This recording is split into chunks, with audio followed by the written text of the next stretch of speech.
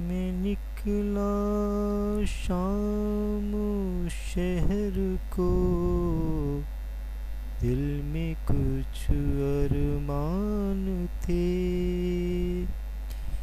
एक तरफ़ सब्ज झाड़ियाँ एक तरफ़ टूटे कब्रिस्तान थे। तले एक हड्डी पड़ी, जिसके ये बयान थे। संभल कर चल ए चलने वाले, कभी हम भी इंसान थे।